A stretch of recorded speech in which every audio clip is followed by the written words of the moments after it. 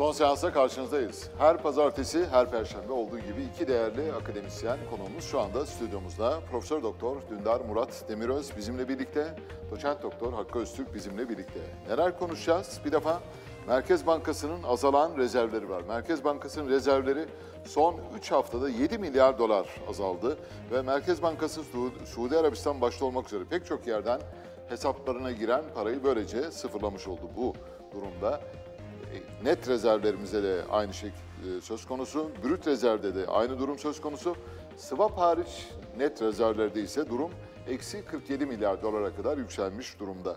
Brüt rezervimizde yine son 2 haftada, 3 haftada 121 milyar dolar seviyesine kadar indi. Bu arada kur korumalı mevduatta büyük bir artış var.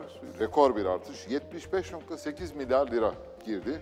Sadece 7 Nisan haftasından bahsediyoruz. Kur korumalı mevduatın büyüklüğü de yaklaşık 1.7 trilyon liraya kadar yükseldi. Borsada yatırımcı sayısı artıyor. Borsa bildiğiniz gibi son 3 haftada yatırımcılarını giderek hızla kaybetmişti. 4 milyon 250 binden 3 milyon 950 bine kadar düşmüştü. Şimdi halka arzlarla birlikte yeniden artış ortaya çıktı. 12 Nisan haftası itibariyle Borsa İstanbul'a yeni 750 bin civarında, yılbaşından itibaren 750 bin, son bir haftada da 450 bin civarında yeni yatırımcı geldi. Neden geliyor, nasıl geliyor ya da yatırımcının daha fazla gelebilmesi için yeni bir açık kapı var mı diye soracağız. Amerikan üretici enflasyonu son dönemlerin en rigid düşüşünü gösterdi. Bu elbette tüketici enflasyonu ile üretici enflasyonu bir arada düşündüğümüzde Amerika'da enflasyonun yavaş yavaş kontrol altına alınmaya başlandığını gösteriyor bize. Bu arada OPEC küresel petrol talebi öngörüsünü sabit tuttu. Fiyatlar da zaten yukarı doğru gidiyor. Şu anda Brent petrol son dönemlerin en yüksek artışına sahne oluyor.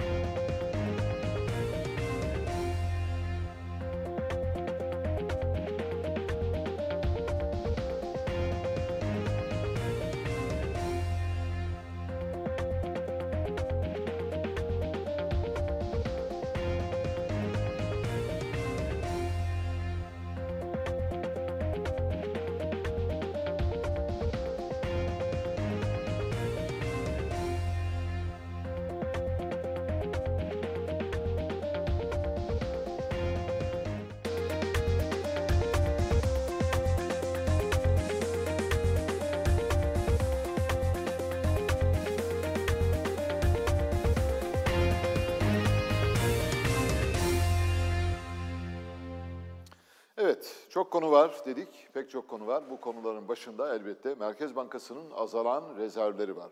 Merkez Bankası son 3 haftada 7 milyar dolar kaybetti. Merkez Bankası'nın rezervlerinin normal şartlarda artması gerekirken, yani diğer merkez bankalarıyla yaptığı swap işlemleri dolayısıyla artması gerekirken azalıyor. Çünkü Merkez Bankası elindeki dövizi, dövizi baskılamak üzere kullanıyor. İşte bu da böylesi bir sonuca yol açıyor. Sadece son bir haftada 7 milyar dolar, Swap hariç net rezervi ise eksi 47 milyar dolara kadar çıktı. Brüt rezervde de 120 milyar dolar seviyesindeyiz. Acaba neden Merkez Bankası rezervlerini bu kadar hızlı tüketiyor diye soruyorum. Ne diyorsunuz hocam?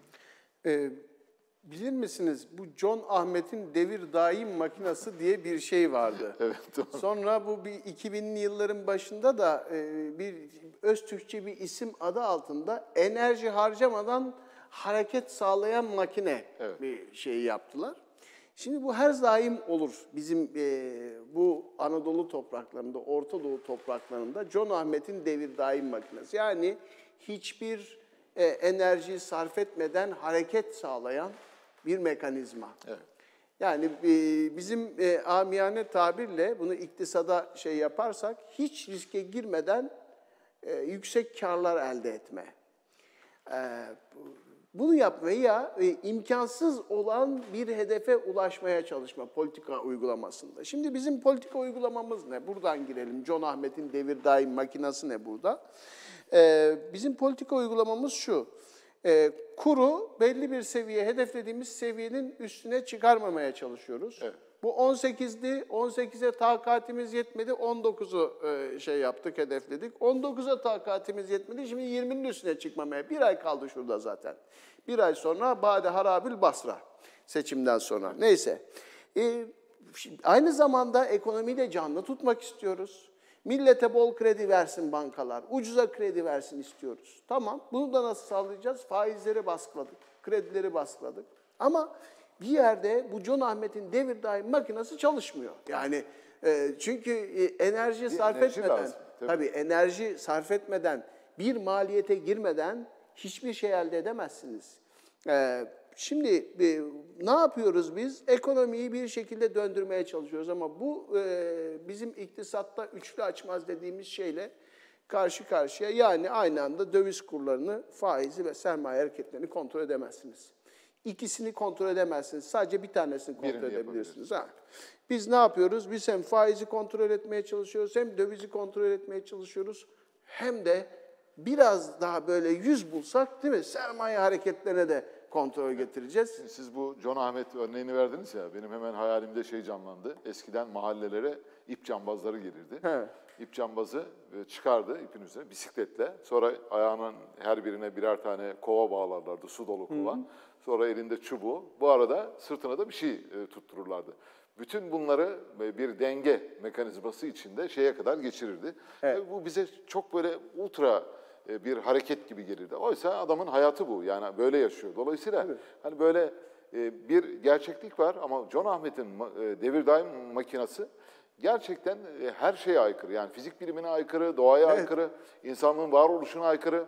Yani Heraklitos'tan bu, bu yana gelen bütün tezlere aykırı bir Evet. şeyden bahsediyoruz. Evet. Bir- Onun için zaten diyorum eğer bu politika haklı çıkarsa, biz haksız çıkarsak, yani bu politikayı savunanlar başta Sayın Cumhurbaşkanı olmak üzere 3-4 defa iktisat Nobel'i verilmesi lazım.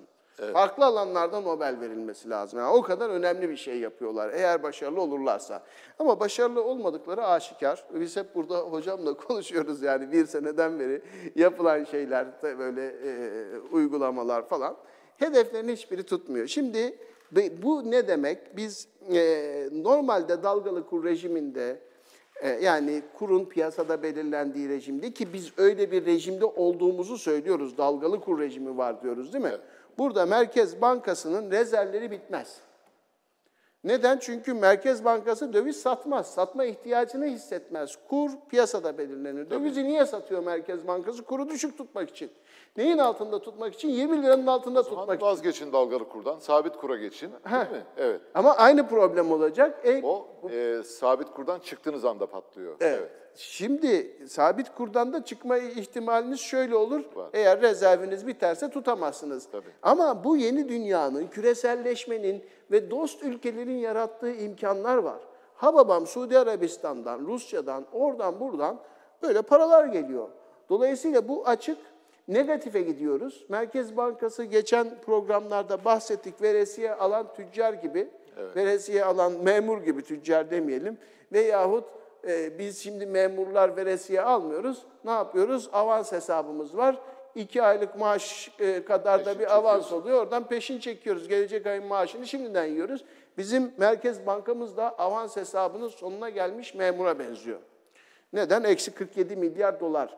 Buradan e, niye bunu yapıyoruz? Biz sadece ve sadece hükümet seçimde bir maraza çıkmasın, ekonomi güzel bir görünüm olsun ekonomide. Arka taraf perişan olmuş olabilir, bütün dengeler alt üst olmuş olabilir. Hiç umurlarında değil. Önemli olan bir imaj oluşsun böyle. Yani ekonomi canlı gidiyor. Bak faiz düşük, döviz düşük. Bizim programla enflasyon da düşüyor.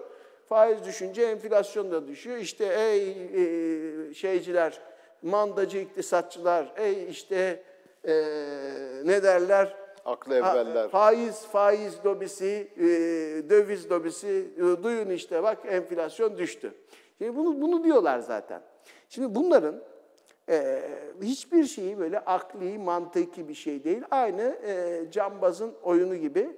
Ama şu oluyor, biliyorsunuz cambazın olduğu yerde yan kesiciler de vardır. Cambaza bak, cambaza derler. Millet cambaza bakarken yan kesiciler milletin cebinden paraları götürür. Bu biz cambaza bakarken yani hem faizi hem dövizi düşük tutarken bizim cebimizden paralar gidiyor. Kimin cebine gidiyor? Bilmiyorum. Onu tartışmak lazım. Yani ba- cambaza bakarken yan kesiciler var. Bizim cebimizden paraları götüren. Bunu da tartışmak lazım diyorum inşallah. Evet. Hocam buyurun. Ne düşünüyorsunuz? Yani zaten ne zamandan beri e, söylüyorduk Merkez Bankası'nın e, döviz rezervlerinin zaten e, 2022 yılında da e, ciddi bir şekilde e, satış yapmıştı piyasada. e, bu 3 aylık dönemde de devam ettiğini görüyoruz. İşte brüt rezervler e, yani yıl başına göre 3.7 milyar dolar azalmış, 121 milyar dolar. Net rezervlerde de ciddi azalış var yılbaşına göre. O da 13.8 milyar dolar. E, swap harici net rezervler eksi 47.1 milyar dolar. Yani bir önceki hafta 43 milyar dolarmış. Orada da e, 4.1 milyar dolarlık milyar evet, dolar. bir haftada yani kötüleşme var. E, ek- eksiye gidiyor. E şimdi öbür taraftan bakıyorsunuz e, işte Merkez Bankası'nın e, verilerine göre e, bu Ocak, Şubat, Mart 3 ayda reaskont kredilerin geri dönüşleri var. Bunlar tabii rezerve katkı oluyor. E, 1.4 milyar dolar ben baktım. E, ondan sonra işte kur korumalı mevduattaki artış yani 3 ayda 3 aylık artış herhalde 12-13 milyar dolardır. Bunun tabii bilmiyoruz ne kadarı döviz dönüşümünde ama kabaca yarısı dövizden TL'ye dönüşüm olsa 6 milyarlık rakamda orada var. E, ihracat şeyi var. 3 aylık ihracatta 60 milyar dolarmış. Onun da %40'ı ne yapar? 24 milyar dolar. 6, 30. Onu da koyduk. Tabii yani 30-35 milyar dolar arası aslında bir merkez bankasının tabii diğer e, o şeylere bakmadım. U- ufak miktarda belki diğer dış borç ödemeleri falan filan olabilir e, döviz bazında.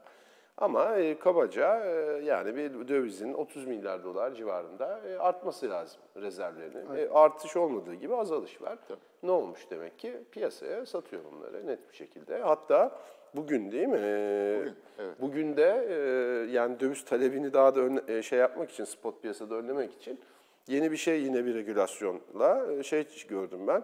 TL uzlaşmalı vadeli döviz Evet. satım işlemlerine başlıyor. Vade bir yıla kadar. Ne işe yarayacak hocam? Yani işte şunu şu işe Nasıl yarıyor. bir şey? Opsiyon Yani mi hocam? opsiyon değil bu. Ee, Bir türev bir enstrüman. Ee, Siz bankalar Merkez Bankası'ndan e, bir yıla kadar vadede forward kur alabilecekler. Evet. Ama bu şey olacak, e, TL cinsinden nakdi uzlaşma olacak, dolar cinsinden değil. E, Dolayısıyla yani burada neyi amaçlıyor? E, Birincisi benim gördüğüm, e, siz yani spot piyasada dövizi talep etmeyin de gidin e, vadeli piyasada bunu talep edin. E, talebi kesmek istiyor yani. Ama ondan sonra işte 3 ay sonra, 4 ay sonra ama biz uzlaşmayı da TL yapacağız. Yani ne demek bu? Basar yani eğer e, şey olursa basar TL'yi öderiz anlamında bu çok net bir şekilde. Yani burada e, talebi düşürmek istiyor. Çok büyük talep de var. E, Yani hocam söyledi, e, tüm e, yapılan işlemler son ne zamandan beri, hatta son 3, 4, 5, 6 aydan beri seçime kadar dövizi tutmak üstüne kurulu. E, Yani her şey yapılıyor bunun için. E, E çünkü tabii ki e, eğer ki dövizde herhangi bir e, ciddi bir yukarı bir hareket olursa seçim öncesi, e, zaten şu an için en kritik olan şey o. Yani zaten işte anketlerde görüyoruz herhalde bilmiyorum. E, yani yakın sonuçlar, bazı anketler yakın, bazı anketler biraz daha farklı ama öyle bir şey olduğu takdirde zaten e, çok riskli olan e, siyasi iktidarın devamı e, olmayacak kurla beraber e, bir şey olursa. E, dolayısıyla bunu önlemek için yani tek yapılan şey bu şu anda. Kuru tutmak seçime kadar e, başka da bir şey yok. E, yani işte yeni AK Parti'nin yeni ekonomik e, şey de açıklandı galiba. Evet, program açıklandı. Program da açıklandı. Ben öyle çok detaylı incelemedim ama yani öyle kabaca bir İktidarla baktım. muhalefetin programı neredeyse birbirine çok Tabii biraz oradan alınmış. E demek ki yani artık şeyle de ilgili devamlı o yani bu Türkiye ekonomi modeli, yeni ekonomi modelinin devam edeceğiyle ilgili de bir şey ben orada şey yapamadım yani. E, yani normal devam yine edeceği konusunda bir belirginlik yok. Yok yani. e, Orası pas geçiliyor. pas geçiliyor. Sayın Nebati bir tek bekliyor. devam Bekliyor, evet. etmesini. Devam et. evet. Biz geçen konuşmuştuk zaten onu. Dolayısıyla e, yani e, bu e, her zaman biz söylüyoruz e, mevcut iktidar da devam etse e, yeni gelen iktidar da olsa tümüyle bu politikaların değişmesi lazım. E, ama siz sadece politikaları değiştirerek e, güven sağlayabilir misiniz? Önemli olan da o. E, nasıl o güveni sağlayacaksınız? E, piyasalar bundan sonra ona bakacaktır. Ama şu an için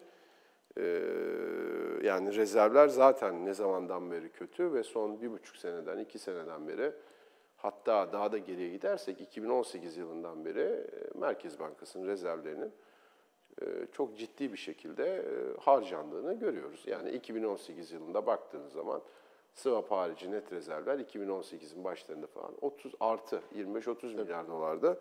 E, Şimdi eksi 47 milyar dolara gelmiş. Yazık günah demek lazım. Başka bir şey diyemiyoruz tabii. Bir şey soracağım bu arada. Şimdi bir de piyasada ikili kur oluştu. Tabii tabii. Asıl bence üzerinde durulması Tabii, tabii. gereken konulardan bir tanesi Doğru. bu. Yani rezervin eridiğini görüyoruz. Tamam ona yapacak bir şey yok. Fakat piyasada oluşan ikili kur bizi bekleyen büyük bir tehlikeye e, doğru yol aldığımızı gösteriyor. Mesela dün baktım, e, bugün de baktım keza.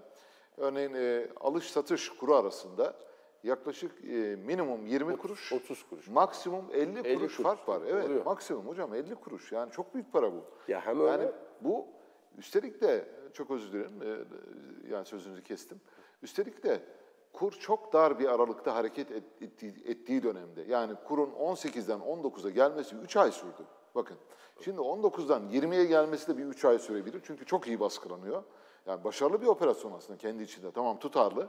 Karşılığı her ne olursa olsun başarılı yürütüyor. Fakat bu dar aralıkta gezinen kurda siz spread'i yani e, 20 kuruşla 50 kuruş arasında eğer götürüp getiriyorsanız orada çok ciddi bir sorun var. Bu defa piyasada şimdi döviz almak isteyenler artık pazarlıkla tutturabildiğine alabileceği en ucuz yeri arayarak ve bularak gidip döviz almak zorunda. Ki almak zorunda çünkü ihracat yapıyor.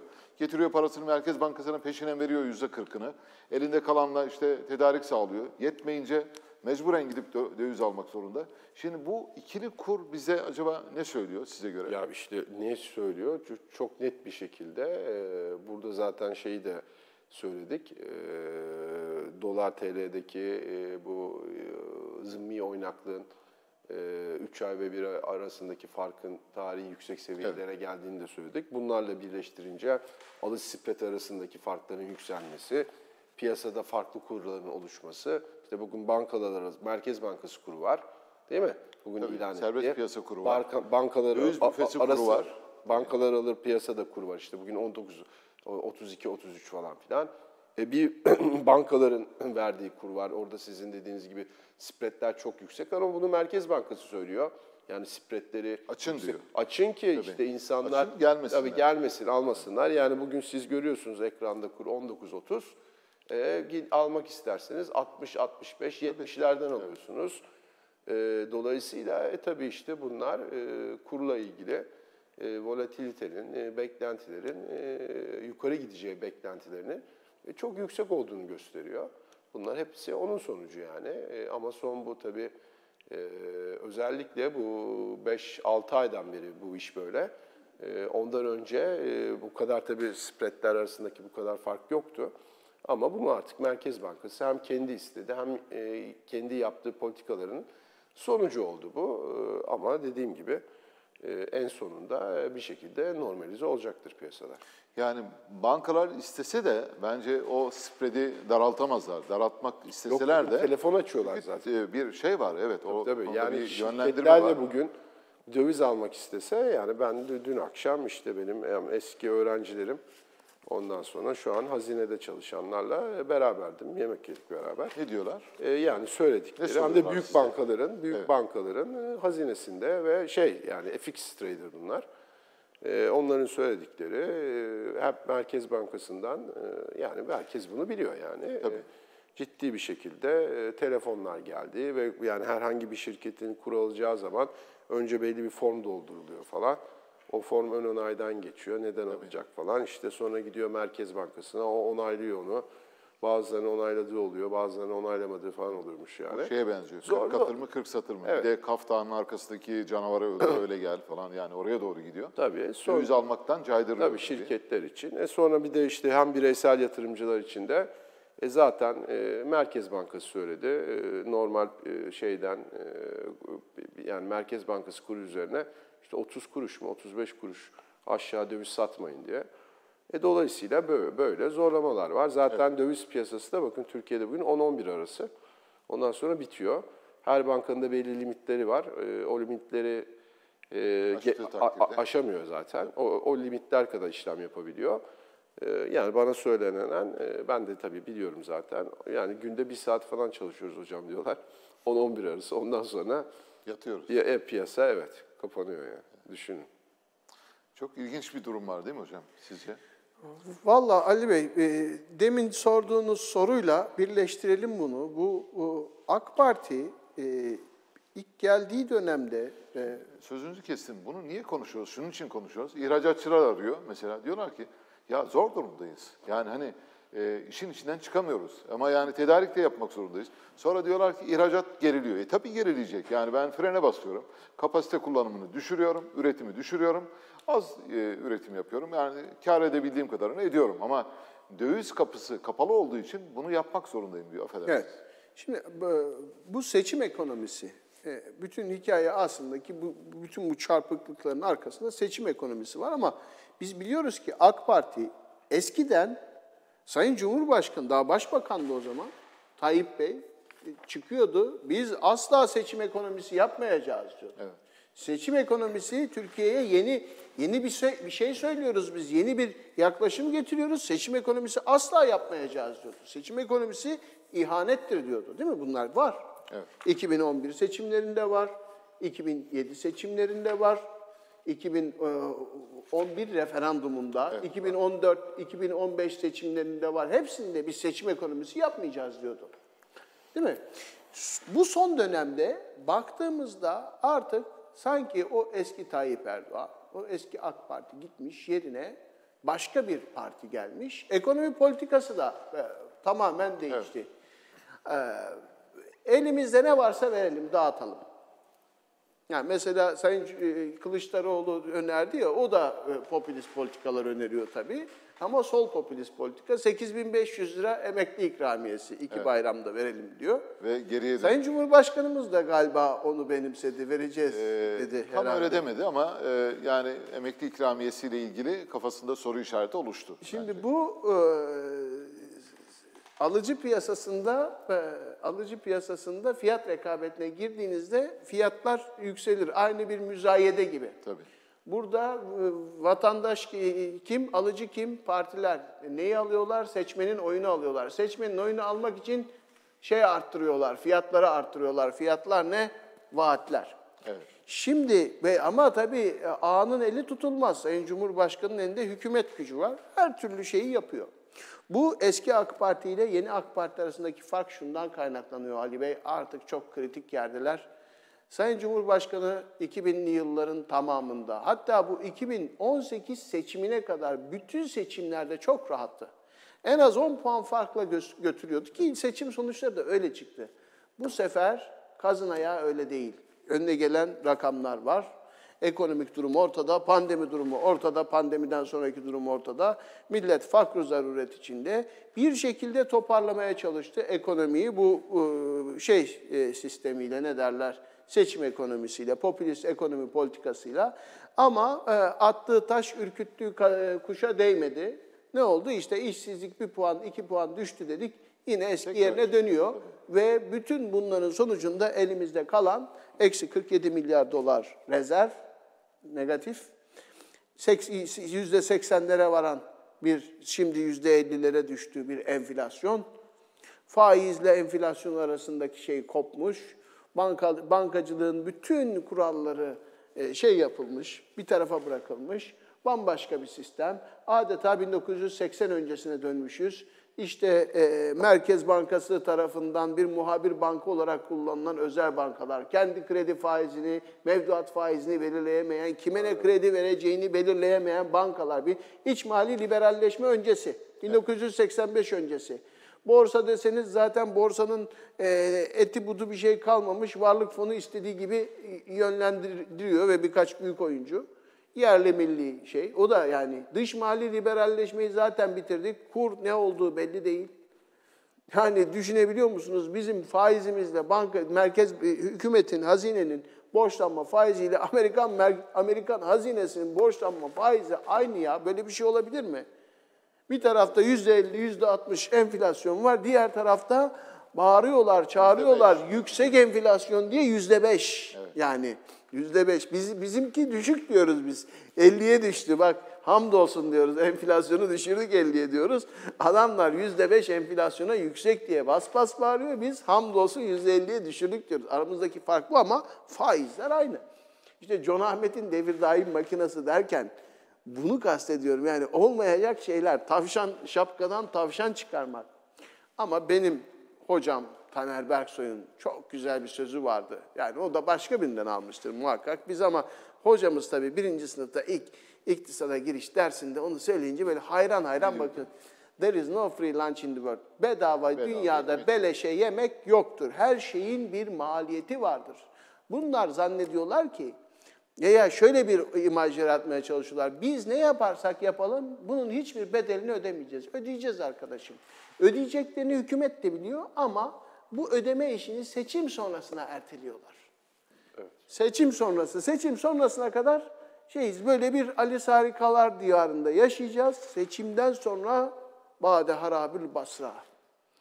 Felaket yani bir şey gerçekten ya sıkı bir istikrar programı gelecek ki bu hepimizin cebinden alacak. Ben tercihen daha zenginlerden daha fazla alınmasını tercih ediyorum. Sermaye sahiplerinden daha fazla alınmasını, emekçilerden daha az alınmasını tercih ediyorum ama sonuçta hepimizin cebinden para alınıp istikrar programı uygulanacak. Bu canımızı yakacak. Eğer istikrar programı uygulanmazsa ya hiperenflasyona gider ya ekonomik krize gider. Sistem döviz krizi temelli, e, bankacılık krizi temelli büyük bir 2001 krizi, 94 krizi gibi büyük, büyük bir krize gider. Bunun e, ortası yok. Onun sonunda daha beter IMF gelir, düğün umumiye gelir, daha beter olur. Yani dolayısıyla e, e, diyeceğim e, o ki e, bütün bu e, irrasyonel şeylerden e, bir ay daha zamanımız var. 32 gün mü? 32 gün sonra bütün bu rüyadan uyanacağız. İnşallah uyandığımızda çok canımız yanmasın diye temenni ediyorum.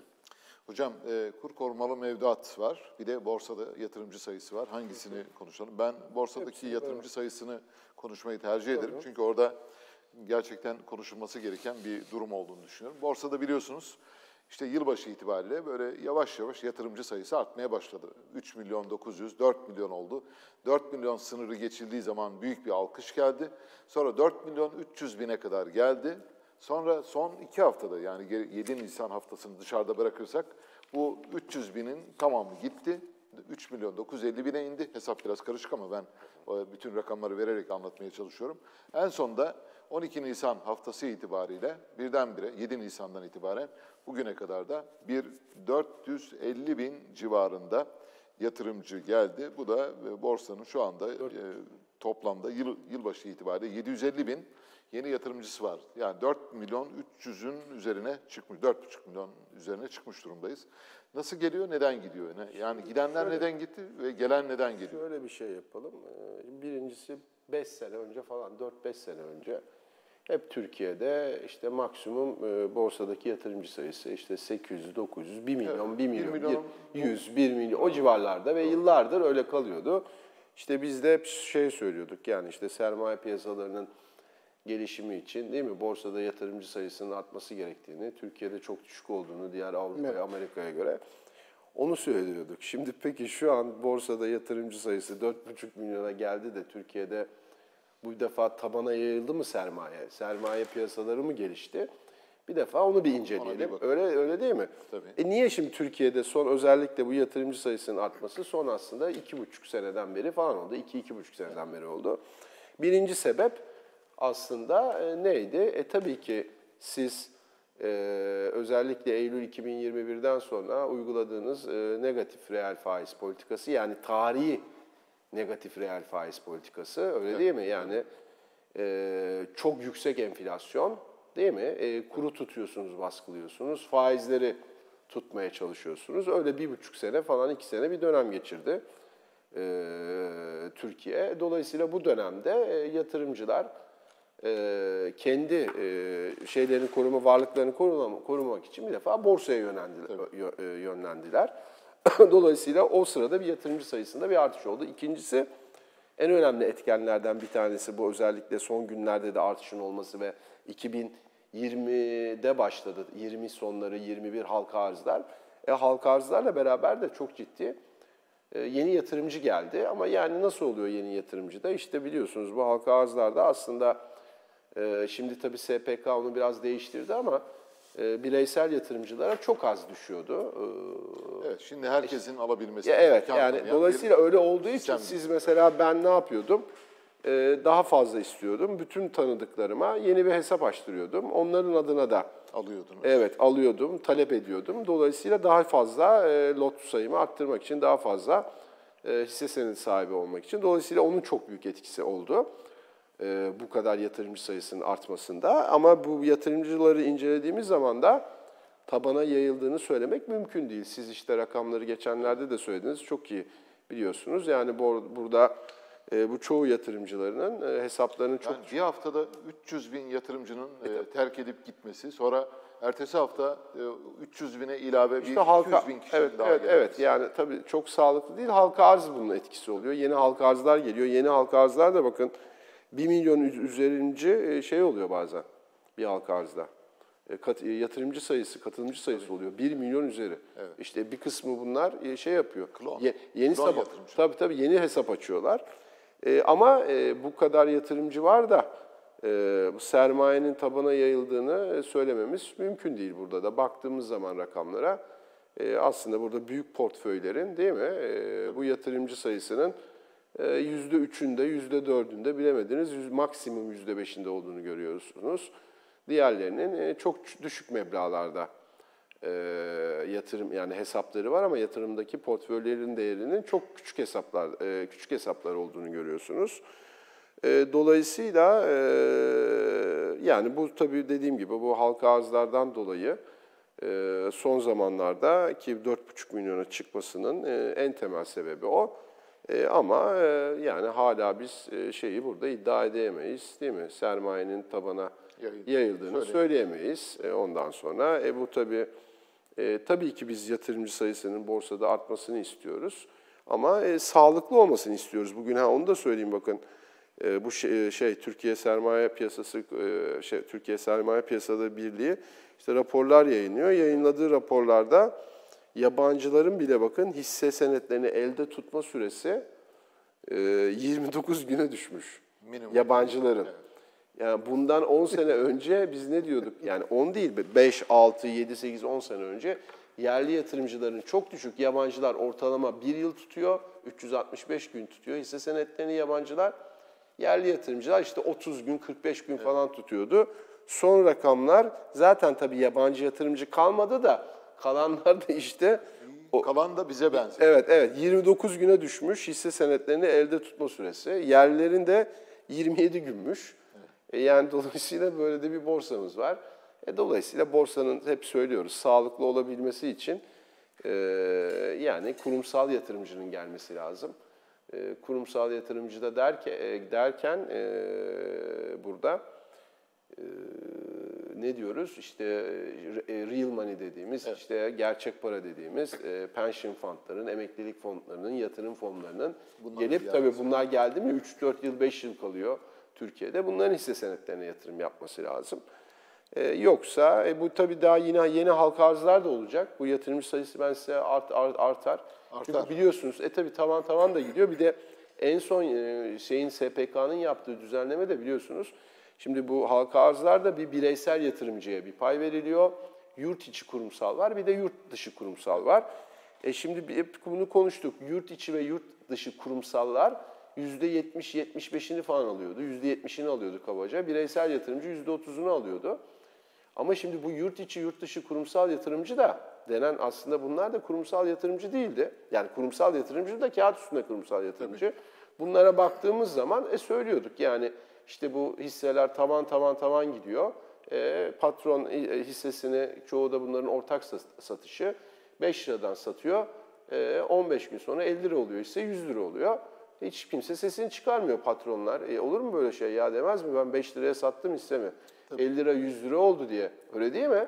E, dolayısıyla bu aslında bunlar kendi hisselerini tekrar e, işte bu yu- yurt içi kurumsal deyip fon kuruyorlardı veya yurt dışı kurumsal deyip kendi sattıkları hisseleri alıyorlardı 5 liradan. On- Ondan sonra tekrar küçük yatırımcının üzerine e, işte 40 liralardan 50 lira- liralardan neyse kaç tavan yaptıktan sonra yavaş yavaş esas küçük yatırımcıya o tavanla tavan olduktan sonra küçük yatırımcıya halka arz oluyordu. İlk başta bireysel yatırımcı 3 lot 5 lot alıyordu. Öyle değil mi? Alamıyordu, gelmiyordu. 100 liralık, 200 liralık şey geliyordu.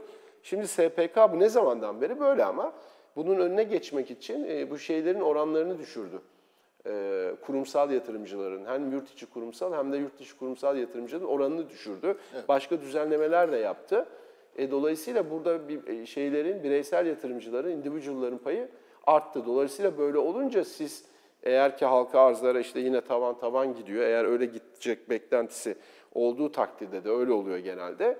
E bu sefer daha çok hesap açılır orada. Çünkü niye? Sizin orada gelecek yani siz eskiden 3 kişi, 4 kişi üzerinden başvurduğunuz takdirde e, yani 3 lot, 5 lot geliyorsa şimdi oradaki payınız arttığı için daha fazla gelecek. Dolayısıyla daha çok kişi üzerinden başvurursunuz. O da ne yapar? E, yatırımcı sayısını arttırır. Benim anlamadığım şu, şimdi e, ben diyelim bir şirketin hisse senedine giriyorum. Ben bir şirketin patronuyum, holdingim var.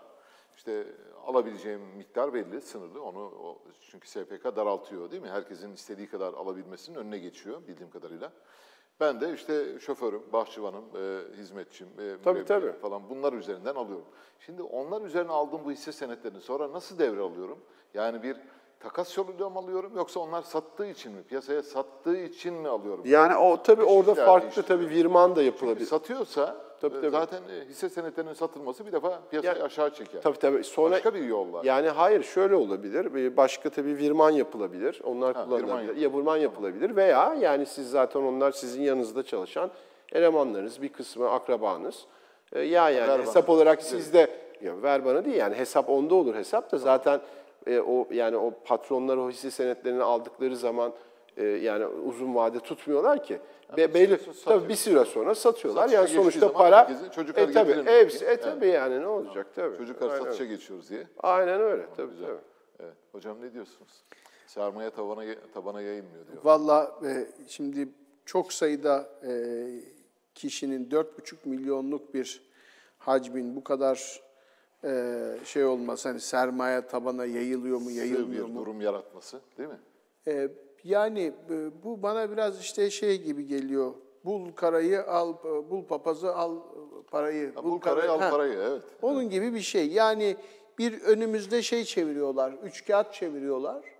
Hani yani sonuçta sermaye hocamın dediği gibi adam bahçıvanına, aşçısına, ona buna falan aldırtıyor. Sonuçta aynı e, sistem. Ama çok kişi almış gibi gözüküyor. Bunun yarattığı avantajlar var. Şimdi bunlar palyatif şeyler tabii. Ee, bir e, borsanın, e, bizim mesela bu, bu borsa hikayesi çok önemli. Ee, kültürünün oluşması lazım. Ee, bizim e, Aslında var da bu kültürümüz. Yani bizim borsamız yerleşik bir borsa gibi davranabiliyordu. hayır Son da çok gençti daha. yılda bu şey bozuldu bu kimya. Ali Bey ben size bir şey söyleyeyim. Amsterdam'daki borsa bin, yani 1600'lerden beri Amsterdam'da borsa var. Evet. 1650'lerin sonundan itibaren Londra'da borsa var. Yani Ricardo falan o büyük klasik büyük iktisatçılar bu, bu borsada simsarlık yaparak yetiştiler. Alaylı yetişiyorlar. Ee, şimdi bizdeki borsa ne zaman açıldı? 1985. Evet. Ama Yani tabii İMEK'ten öncesi Osmanlı var. tahvilat, Var da, var da Osmanlı gerçek anlamda. borsası var. Yani var. 1800'lü yılların Var sonuna tabii. giden. Yani köle pazarları da var sonuçta. tabii, tabii, doğru. Emtia pazarları da var. Pazar var ama bildiğimiz anlamda standart uluslararası kurallar çerçevesinde alım satımı e, kayıt altına alınmış. Bunlara biz ne diyoruz? E, düzenli, nizami piyasalar, organize piyasalar diyoruz. Şimdi öyle bir piyasa 1985'te çok genç. Doğru.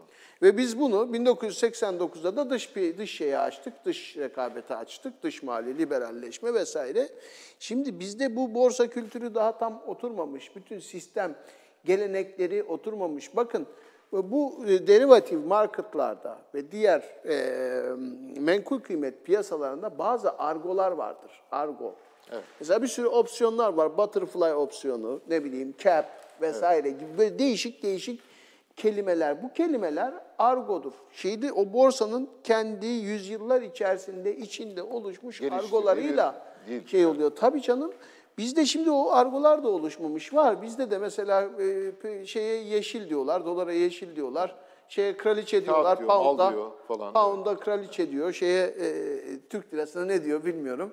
E, yani e, böyle ufak tefek argolar var ama bir kültüre oturmadı. Şimdi bir, ikincisi döviz piyasasında hala daha bir şeyimiz yok, bir organize piyasamız yok. Bizim geleneğimiz, Osmanlı'dan beri gelen gelenek, finans sistemimiz bizim bankacılık üzerine kurulu. Dolayısıyla bütün ekonomide vatandaşların yani küçük tasarruf sahiplerinin e, az ya da çok paralarını hisse senedinde değerlendirmesi gibi bir yaklaşımımız yok. Büyük firmaların dışında küçük firmaların da hisse senedi tahvil çıkararak finansman sağlaması gibi bir yaklaşımı, geleneği yok. Bu şeyin, sermayenin tabana yayılması için bu geleneğin oluşturulması lazım. Onun için de e, itibar değil, itibar hani itibardan tasarruf İtibari. olmaz diyoruz ya biz itibardan ta, itibarı değil, güvenilirliği esas. Emin olmayı esas alan politikalar uygulanması lazım. Bugünkü politikalar itibarı esas alıyor. İşte biz e, bak onu yaptık, bütün dünyada kabul edilmeyen politikayı uyguladık. Bak herkes yanılttık, biz kazandık. Enflasyonu %50'ye düşürdük, hamdolsun.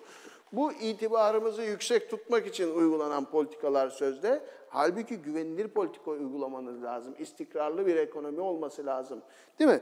O zaman bunlar yavaş yavaş burada sermaye tabana yayılacak ama bu uzun e, bir süreç. Şimdi buradaki 4,5 milyon dediğimiz gibi halk arzlarda çok e, bu tür şeyler oluyor. Bir ikincisi e, bizim e, kumar oynamayı seven bir kitlemiz var. Var. Onlar da giriyorlar böyle at yarışı oynar gibi, şey oynar gibi. Kripto Ya- piyasasında da aynı. gelen yabancılar da gelen yabancılar da artık bu zihniyetteki yabancılar haline aldı. Yani bu bul parayı al karayı, bul karayı al parayı e, e, oynar gibi. Eğer kazı kazan, hadi bir, bir seferde bir yüzde beş, yüzde on kaldıralım gidelim. Yani 20 gün, 10 gün kalıp gidelim. Böyle uzun vadeli buradaki firmalara hissedar olacak, ortak olacak. Onlara, onlarla e, kader birliği yapacak bir yaklaşım yok maalesef yabancıda da. E böyle olunca bir kumarhaneye dönüyor burası. Sanal ortamda bunun çok ciddi sonuçları olacaktır. Döviz piyasasının doğru düzgün organize piyasa olmaması içeriye giren çıkan dövizin niteliğinin ve iki ikili kur diyorsunuz. Bunların ortaya çıkmasının temel sebebi kontrollü, e, düzenli, organize bir döviz piyasasının olması lazım. VOP'umuz var bizim. Vadeli işlem borsası var. Orada vadeli işlem dövizler belirleniyor organize piyasa ama spot piyasa yok. Olacak iş değil. Nerede belirleniyor? Merkez Bankası tepede bir hiyerarşi kurmuş. Merkez Bankası var, altında bankalar var, bankalar arası piyasa var. Onun altında döviz büfeleri, kapalı çarşı ve halk. Böyle bir piramit aşağıya doğru tezgah üstü piyasa, yukarıya doğru gayet organize bir piyasa. Ve en tepede Merkez Bankası organize sistemin başında ama hiç de organize olmayan veya dünyayla organize olmayan tamamen kendine ait kurallarla çalışmaya çalışan bir yapı kurmaya çalışıyor. Bir de öyle bir durum var. Dolayısıyla bunlar eee, hem borsada ki bu e, fiktif durum, e, bence fiktif bir durum bu. E, hem e, döviz piyasasındaki de sıkıntılı durum. Hepsi aslında bir gerçeğin farklı farklı yüzleri. Bunların hepsini bir e, yeniden e, örgütlemek, düzenlemek lazım. Bir de bir şey ilave edeyim. Bir de tabii yani normalde e, şirketler e, yani fon kaynağı iki türlüdür. Bir tanesi işte debt financing dediğimiz nedir? Borçla finansman. İkincisi de equity financing dediğimiz öz sermayeyle finansman. İşte borçla finansman için klasik bankadan gidip kredi alabilir, tahvil bona ihraç edebilir. Ama öz sermaye ile finansman nedir? E, işte bu halka arzla Halka Ama arzla bunun para. şirkete para girmesi için, e, equity financing olabilmesi için sermaye arttırımıyla halka arz olması lazım. Yani tabii ki şirketlerin sermaye piyasasından kaynak sağlaması son derece önemlidir. E, hem demin ser, sermayenin tabana yayılması açısından da önemlidir ama şirket bunu sermaye arttırımıyla halka arz yaparsa para şirkete girer. Türkiye'de yapılan halka arzların hepsi demeyeyim ama bir kısmı, çoğu hatta patron satışı, ortakların satışı. Yani patron kendi hissesini satıyor. Tabii. Şirkete giren bir para falan yok. Anlatabiliyor muyum? Patronun cebine giriyor. Evet, para patronun cebine giriyor yani. Yani normal koşullar altında e, hem sermayenin tabana yayılabilmesi için hem şirketin bu buradan sağladığı kaynakla yeni feasible yatırımlar yapılabilme, yapması için dolayısıyla şirkete fon girişi olması lazım. Ama var tabii şirkete bedelli sermaye arttırımı, sermaye arttırımı ile olan halka arzlar da var ama bunlar biraz e, düşük oranda. Onu da Çok söyleyeyim. teşekkürler hocam. Ee, Ben teşekkür hocam, ederim. e, Hakkı hocam çok teşekkürler. Reklama gidiyoruz. Ağzınıza sağlık. Vallahi nasıl geçti anlamadım değil ya. su gibi.